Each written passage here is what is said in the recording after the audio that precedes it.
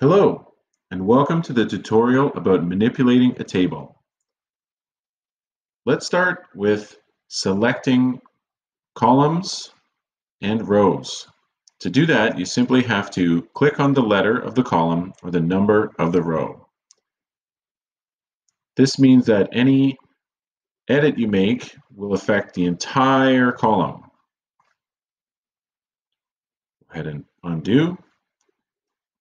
There are a couple ways to select the entire spreadsheet. One quick way is Control A. Another way is to click on the square at the top left. And let's say we'd like to change the font size to 14. As you can see, not all the text fits, and of course we'd like to widen the column to make everything fit. And you can even do this to multiple columns at once making them all uniform or fit perfectly. Sometimes with your table, you'd like to add a new row or column. If we wanted to add a new employee somewhere, you can insert one row above or below,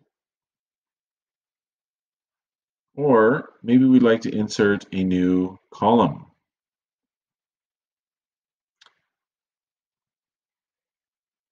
Let's call this column date hired. A little bit of spreadsheet magic. Ba-ding! Now the dates have been populated.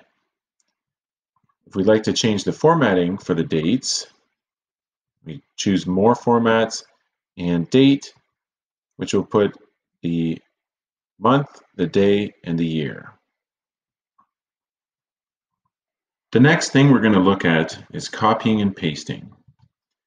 Let's say we have some text here that we would actually like to move from A10, cell A10, over to F2. Of course, you can click on the Edit button, copy. There's also Control C as a quick key and Control V to paste.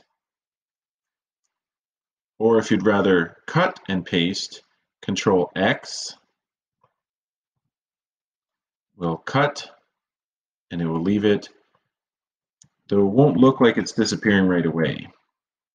As you can see, there's a small box around, Control X and Control V to paste it somewhere else.